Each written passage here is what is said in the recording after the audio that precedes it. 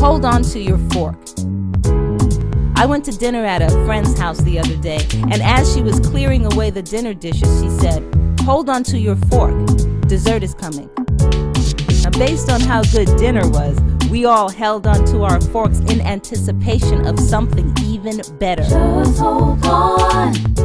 And we weren't disappointed. You can keep the same philosophy in your everyday life, especially run into difficulties, setbacks, or unexpected challenges.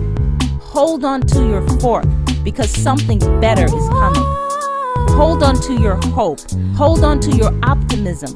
Hold on to your cheerfulness, your confidence. Hold on to your goals and your dreams. Hold on to your fork because better things, better opportunities, better days are coming your way.